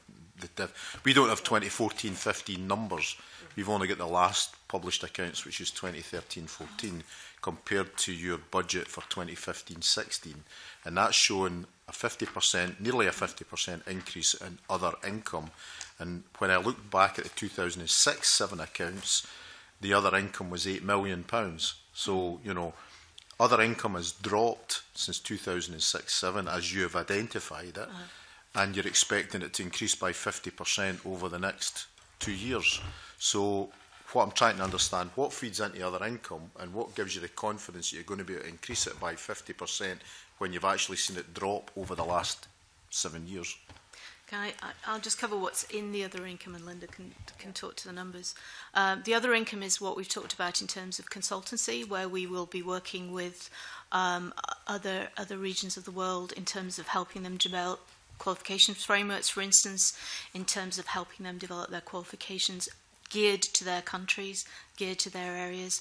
We um, work um, across the UK in terms of delivering um, specific programs like the dangerous goods drivers training. Um, and that is the, the nature of the other income that's in place. We also have uh, a significant uh, activity in China as a result of the engagement the Scottish Government had with China back in 12 years ago now, where we, where we deliver HNDs in, China to Chinese universities. Um, so that's the nature of the types of other income that we have. Okay? Yeah. Um, the other income, it, we actually submitted a graph showing the gradual increase of our other income over time. It had stayed quite static for a while, but has been growing quite quite a bit since about 11, 12 onwards. We started to see quite a, an increase in it. Um, so we you know, and in 15, 16, we're predicting our other income to be 10.4, 10.7 million. Um, and that's from known um, projects that are coming through. You know, it, it, we already are aware of the, the, the contracts that we have won or the, or the consultancy that we have in the pipeline to, to undertake. So, so we're, we're confident of, of that figure. Just, just the follow on from that, again, John's touched on this. Um, the total expenditure um, in 2013-14 was 71.6 million and your budget for 2015-16 is 76.4 million, an increase of 4.8 million how much of that 4.8 million relates to that other income being increased? Um, elements of it will do. The majority of that increase, though, is, is standing, you know, the, the, the normal cost that we have to build into the budget, which is um, it's inflation. Main, some of it's inflation, some of it's um, st- some of the costs of staff who are seconded to work on CFE coming back into our core budget as well. So our staff costs have increased um, as a result of that. Um, but about, mm, uh, I, I, I can give you the figure, I can find you the figure, but essentially, yes, there will be some element of that increase relates to the, the success in commercial income because you have the costs, obviously, to deliver that. Yeah. Yeah, yes. Yeah. And, and, and that goes back to the fact that some of our, our, uh, our um, non-Scotland work will be zero, won't be negative, but it will be zero mm. surplus, and others will be um, positive, mm -hmm. and significant positive. Okay. okay. Check.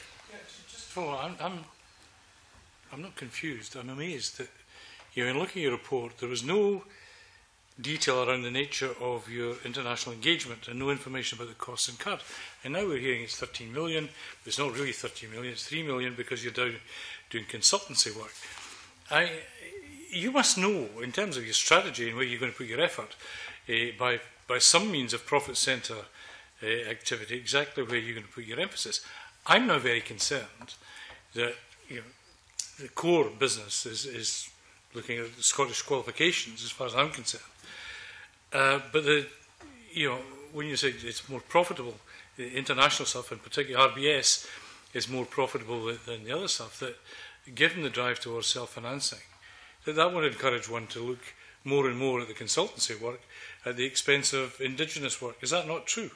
And do you have profit centres so you know where your focus is going to be? Okay, uh, we, we absolutely know where our income is coming from. We do know... No, I'm talking about the profit centre. What are the costs associated with Yes, that? yes. We do know where our income is coming from and we do know outside of Scotland exactly how much it costs us to deliver that. Okay, that is very, very critical because that is that we have to know that to be able to decide whether we make those decisions. When, uh, when, we, when a contract comes up, for instance, we will have a very detailed business plan drawn up that will say this is, this is exactly the amount of resources it's going to take, this is how much it's going to cost, and this is what the, the price of the contract is likely to bring in. So we're, we're very, we're very aware of that. We have uh, a committee that specifically focuses on this as well, and we have a very detailed understanding of the pipeline that's coming in. But that is one aspect of what we do. We are not um, an organisation that is tailored and geared to increasing that that um, that income stream for the purpose of increasing that income stream. Self-financing, anyone would could consider that where the prime focus would be. Well, I, I think it depends on, on the criteria that you use for uh, accepting a contract. We accept contracts that have zero profit because it is, it is part of our remit to undertake activity to support the development of, of, of nations and qualification structures that, that uh, is part of um, Scotland's well, focus. Forgive me, uh, and sorry to interrupt. If I have very profitable business over here from RBS internationally and zero profit over here, and someone is saying to me, you have to become self-financing, where do you put your focus? Where would one normally put their focus in these circumstances?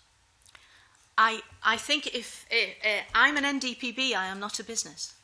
I'm an NDPB. Yeah. I'm an NDPB who's got a challenge to try and continue to deliver uh, a quality service to Scotland, a very broad portfolio of services to Scotland, and to be able to find a way to do that in the most cost effective manner that requires as little public funding as possible. That is the nature of the decisions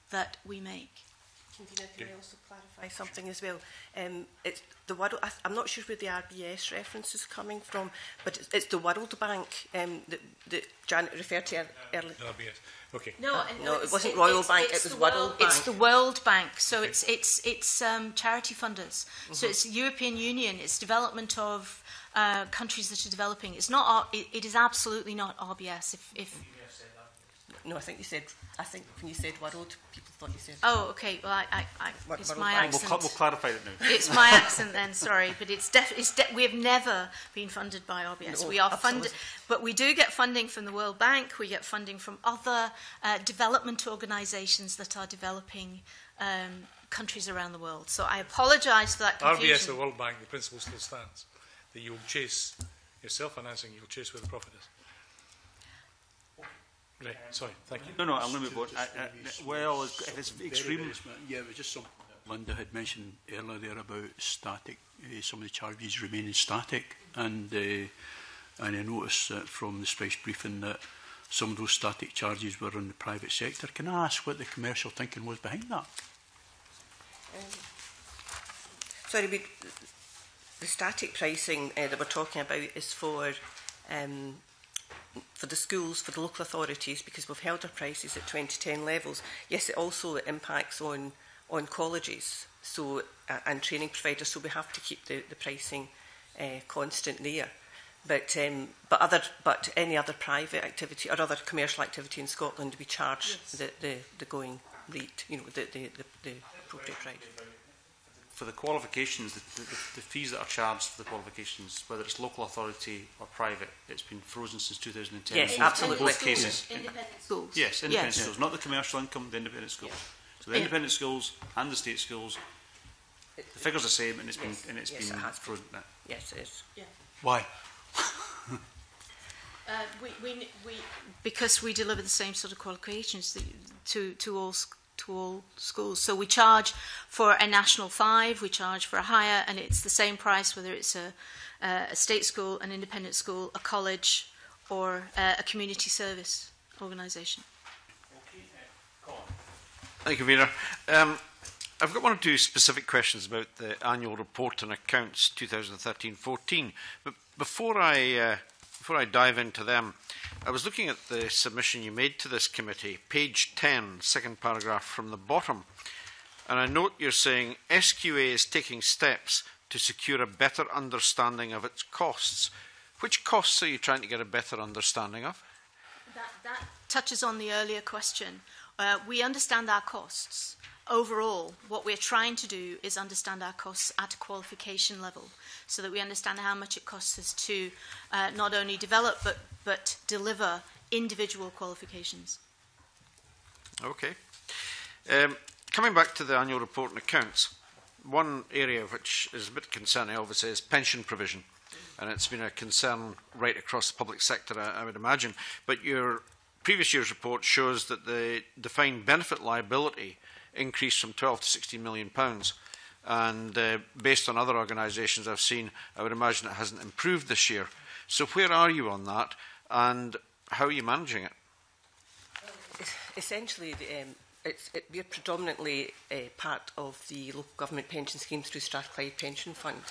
And we receive the ben we receive that statement every year from from the actuary and from the pension fund saying this is you know now the, the, the condition of the fund and these are the liabilities. So it's, essentially, we have no real control over that. And but what it does do, it does have a knock-on effect to some of our cost, staff costs, and we're having to try and absorb those and deal with them. But predominantly, um, it, because it's a, a value of a fund on a particular day in the in the year, depending on markets and depending on gilts, it's extremely difficult um, to do anything other than than absorb try to absorb anything, any cost arising from it. Are you absorbing that cost? I mean, if, if the, if the uh, deficit was 16 million, pounds, where are you going to get that money from? Um, well, we're, we're not reflecting that. We're showing that as a liability in our, our, our accounts, but we're not having to find that money yeah. because that moves year on year. on year. So it, what's your understanding as to how it's being managed? It's, well, I'm, we're members of the Strathclyde Pension Fund, so we, we're, we um, get regular reports from them. We get reports from them in terms of how the fund is doing. But we have no, um, to be honest, we have no opportunity to influence that in any way.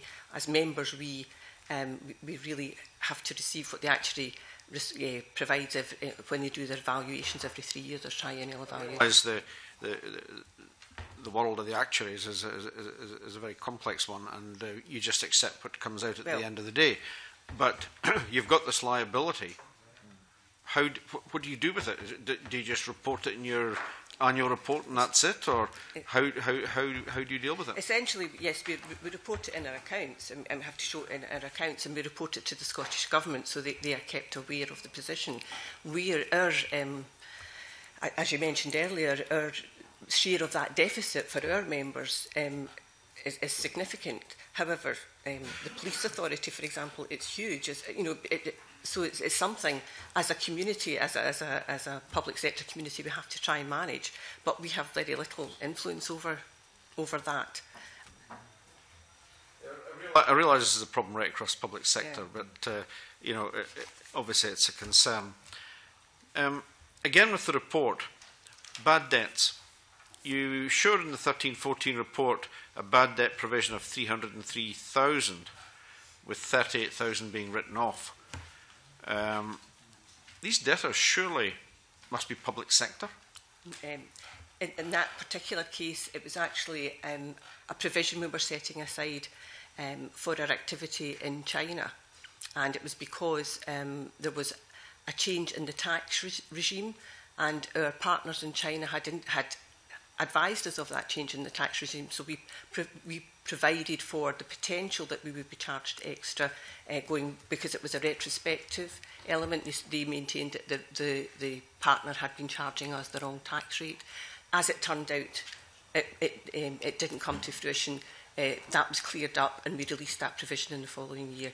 So the, the, the, we have, we monitor our debtors very, very closely and, and we have very um, very few that uh, if you know the, the ones that we do have um, that are perhaps private sector are, are few and far between and some there's about half a dozen who are on payment plans but we don't have a lot of bad debt write-off. So the provision of 303,000 was entirely in connection with China yeah. and the tax situation there? Yes. yes. Which and that was resolved? That was resolved, yes. But you did write off 38,000? 38,000. What yeah. was that in relation to?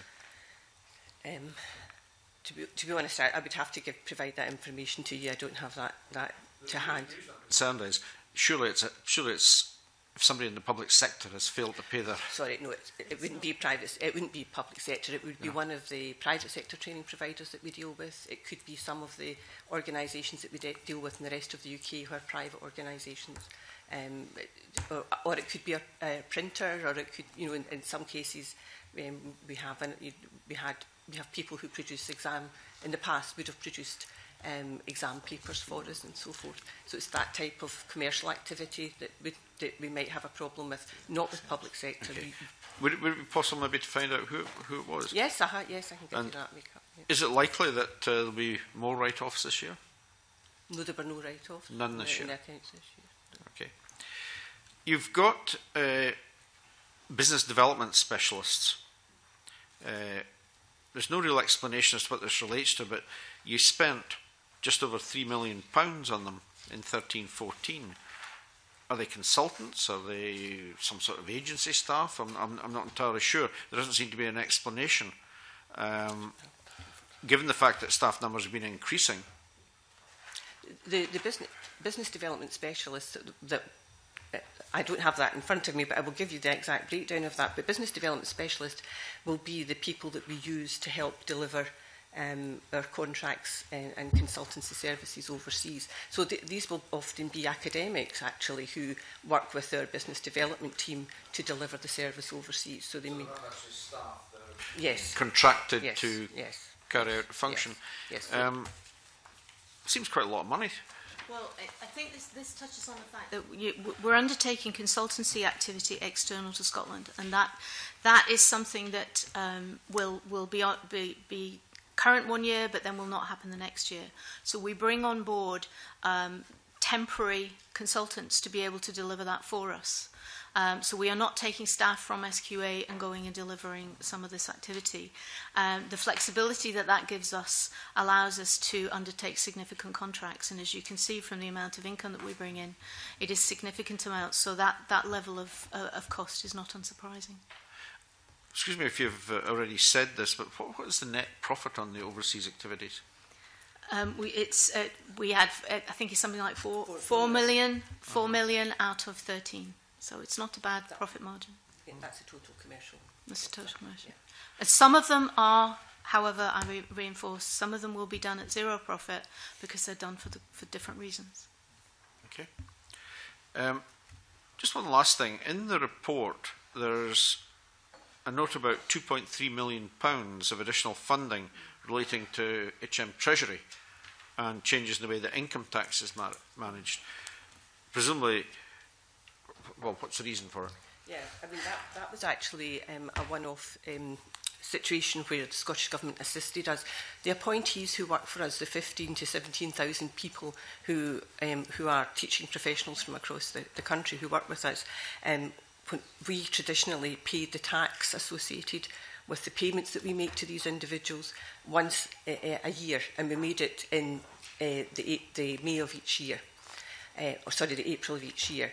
Um, with the, the advent of real-time information for HMRC, um, we were asked, or uh, we, or uh, we were obliged to move to monthly accounting of the tax for these individuals, which meant that we were actually going to be paying um, the tax twice in the same year. So the tax for the previous year that we would normally pay in April, as well as the monthly tax um, for that year.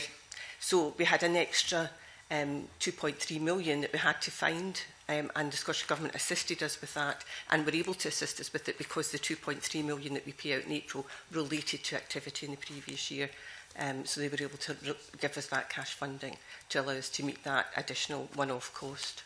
So these thousands of people are actually salaried. They're not sort of contracted staff. They're they're, they're appointees. They're, they're the teachers that we bring on board, the, the, the lecturers that we bring on board to help deliver the diet every year. Um, and so they're not staff um, they, we, we, we pay them, uh, but we do have to pay their income tax associated with the fees that we, that we pay them.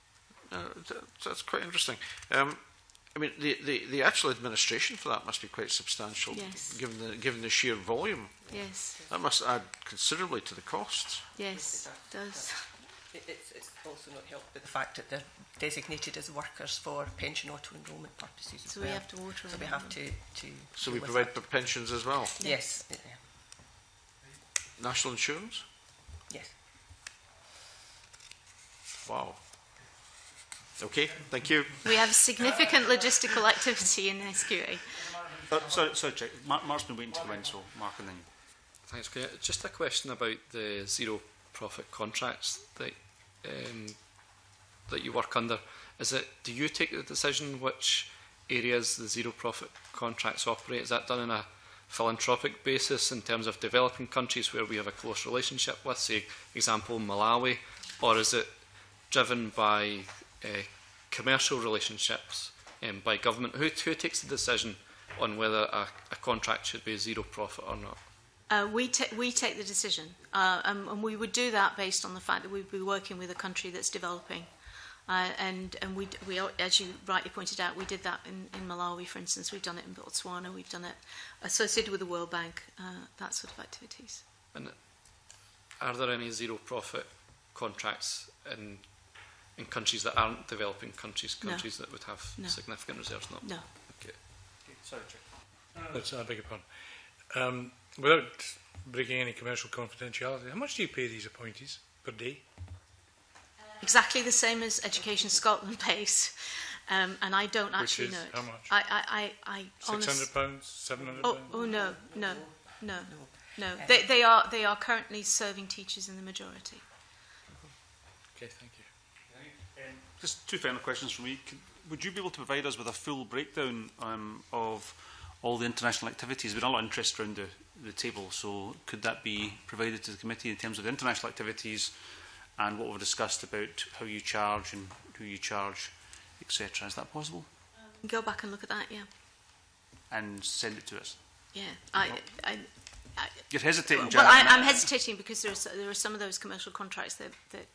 that we sign as a commercial entity. So yes, we'll, we'll, we'll provide you with what, what we are able to do well, so. If you, well, if you could, well, hang on a second. If, if you could certainly look at it, I mean, I, I would appreciate that, but there's no reason why I, I don't think you could provide it to this committee on the same no. basis, the, the same commercial confidentiality. Okay, that's fine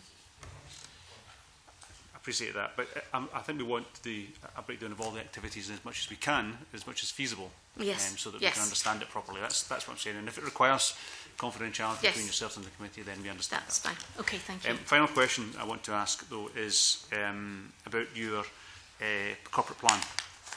Um, on page 5 of the 1518 corporate plan, it says... Uh, it's, it, it talks about your mission statement and your vision. And the vision, I want to quote from it, it says, We will digitally transform our organisation to offer customers better service by delivering efficient, scalable, and new enabling approaches.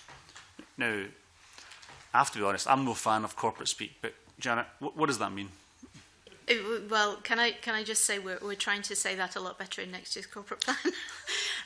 well, it's not um, better, clearer would be. Yes, well that's what I mean. That's what I mean. I, what we're trying to do is we it, it, what we're trying to understand is where we can use technology to make ourselves more efficient, where we can use technology to make us more beneficial to our customers, to our learners, to our centres, and where we can engage with our centres in uh, using digital uh, send send the information to our centres and share information with, with our centres digitally as opposed to through paper because, um, uh, for instance, there's, there's, there's a, the classic case of when we build a college, uh, we build a college at this current time, and Linda's explained that we are in the process of changing this. We build our colleges electronically, but the information that goes along with that goes along as paper. And so you have a lot of activity in colleges trying to match the paper with what's actually come in with the electronic uh, data transfer.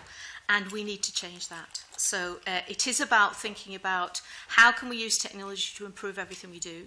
How can we use technology in terms of improving the processes within the organisation? But to, to, to Liz Smith's point, how can we use technology to improve learning and to improve assessment? That's really what we're about that, I have to be honest, that's not what I understood I know, by reading and I'm really that particular sorry about sentence. That. Yeah. But uh, I look forward to next year's then uh, when, when I see it. Can I thank you both very much for coming along this morning? Uh, we do appreciate you taking the time, um, about two hours this morning, to uh, attend the committee. Uh, but can I ask you just to uh, remain seated while we just do the final item on the agenda, hopefully uh, a quick one. Uh, our next item is to consider the following pieces of subordinate legislation. The, the first is the Queen Margaret University Edinburgh Scotland Amendment Order of Council 2015, which is SSI 2015-305, and the Education Assisted Places Scotland Revocation Regulations 2015, SSI 2015-318. Do members have any comments on these instruments? No. Therefore, does the committee agree to make no recommendation to the Parliament on the instruments? Agreed. Thank you very much, and I close the meeting.